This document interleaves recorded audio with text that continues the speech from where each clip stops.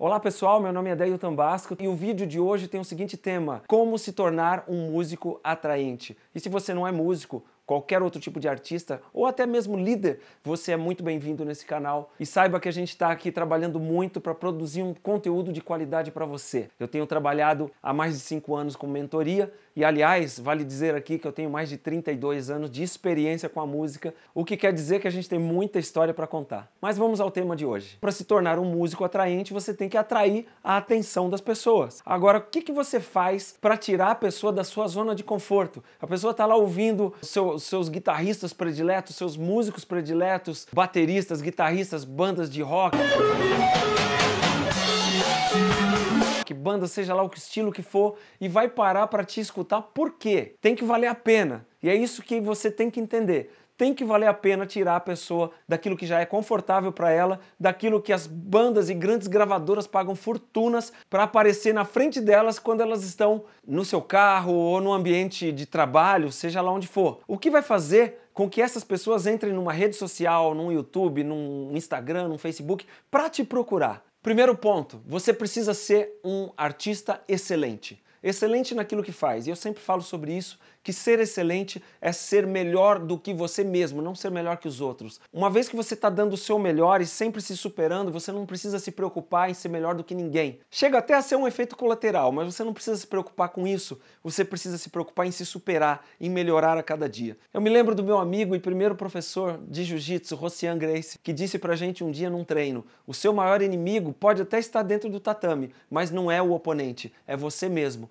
porque a cada dia você tem que descobrir novas técnicas e superar situações que vão acontecer com você no tatame, na luta, no campeonato. Na nossa vida como artistas é a mesma coisa. E na vida pessoal, sentimental, profissional, sempre. Se você não está buscando a melhoria contínua, você fica para trás porque o mundo não para de andar. Para atrair as pessoas, você tem que ser excelente. Excelente em tudo que faz. No jeito de tocar, o teu timbre tem que ser bonito, tem que ser o melhor timbre, como a gente fala, rebuscado, né? aquela coisa típica de você Sabe, eu, eu, fico tão feliz quando a minha esposa, ela escuta numa rádio tocando um solo e ela sabe que sou eu. E eu falo, uau, cara, que legal. Isso tem a ver com timbre, tem a ver com pegada, o jeito de tocar, o fraseado, as boas ideias, o repertório. Tudo tem que ser excelente, senão você não vai construir um caminho bonito para você e para sua arte. Segundo ponto, você precisa ser um artista fora da caixa.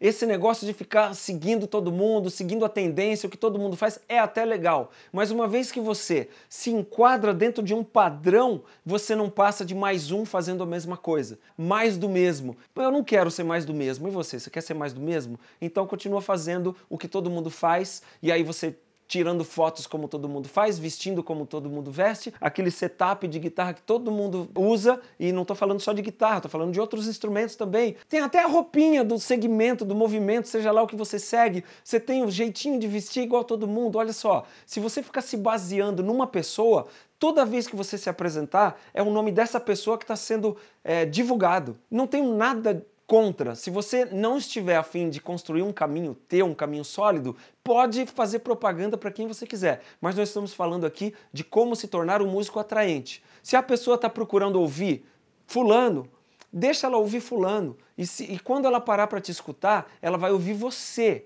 cantando, tocando, você tem que ter o teu timbre, tem que ter o teu som, você tem que ter a tua identidade. A gente fala muito de identidade, gente. Identidade está ligada com propósito também, sabia? Terceiro ponto, o músico ou um artista atraente tem que estar tá acima dos padrões. Quais são os padrões estabelecidos? Tem quase a ver com o tópico anterior, porque você tem que ser diferente. Para ser diferente, você consegue até ser diferente dentro de um padrão. Mas se você estiver dentro de um padrão, vamos colocar a média, a média das pessoas que se apresentam, a média dos artistas. Se você se colocar no mesmo patamar, não estou falando para você querer ser melhor, mas estou falando para você buscar o diferente, o novo, o reciclado. Se você se colocar dentro de uma média estabelecida, você não passa de medíocre. Porque aquilo que é médio ou mediano é medíocre. Se você quiser entender o que eu vou falar agora, você vai entender. Você tem que ser um músico, um artista acima da média.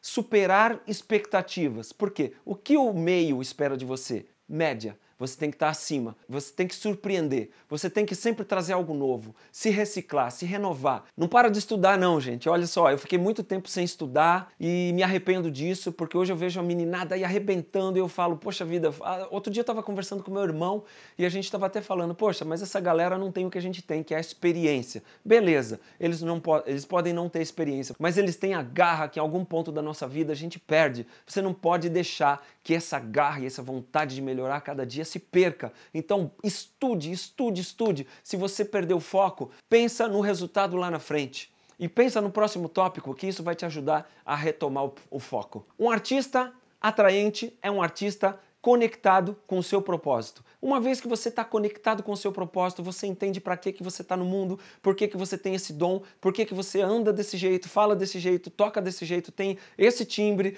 o que, que você põe a mão, dentro daquela área vai funcionar. Então, quando você está conectado com o propósito, você acaba nem se preocupando em ser diferente, em estar acima da média, porque uma vez que você entende o ponto de relevância que existe no propósito de Deus para a tua vida e você entende que aquilo que você faz, aquilo que você produz, a tua arte pode ser relevante para outra pessoa, então você entende a responsabilidade que existe nas tuas mãos. E uma vez que Deus te deu talentos, você não pode enterrar. Então, conecte-se com o seu propósito de vida. Entenda aquilo que Deus tem para você. E aí você está pronto para o próximo tópico, que é encontre o seu público. Uma vez que você estiver conectado com o seu propósito de vida, o seu público vai te encontrar. É diferente. A gente aprende no marketing, na propaganda, encontre seu nicho, encontre seu mercado, seu público, seu avatar, a sua persona. Mas se você estiver dentro do propósito de Deus, a sua linguagem vai ser atraente e o seu público vai chegar até você.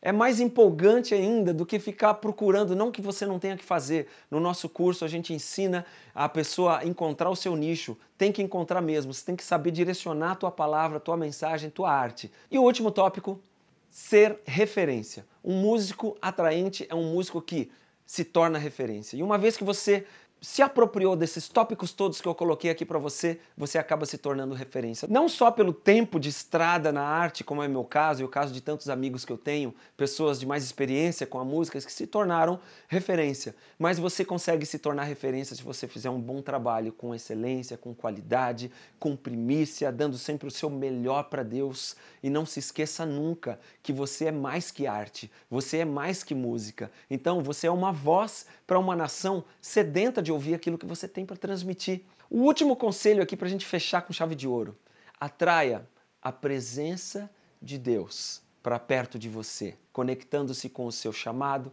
com o seu propósito de vida e tendo sempre no seu coração o desejo de realizar a vontade dele, as pessoas vão se sentir atraídas por você. E é tudo uma questão de tempo. Não desista. Faça o seu trabalho com recorrência. Não pare, não pare, não pare. E você vai ver que você vai alcançar ótimos resultados na sua vida pessoal, ministerial, profissional, em todas as áreas. Galera, é isso. Se vocês gostaram dessa mensagem de hoje, deixa o teu curtir e clica no sininho para que toda vez que eu mande um vídeo, e eu quero fazer isso com mais frequência, você vai receber um recado meu avisando que tem vídeo novo no ar. Compartilhe com seus amigos, porque aquilo que é bom pra gente, a gente deseja para quem a gente ama, ok? E aqui abaixo tem o link das minhas outras redes sociais. Eu tenho uma lista VIP de transmissão no WhatsApp, eu tenho uma lista VIP de pelo Messenger e eu tenho uma lista de e-mail também. Então você deixa de falar comigo só se você quiser. E eu vou ter o maior prazer do mundo em te servir e te ajudar. Deus te abençoe, até o próximo. Tchau.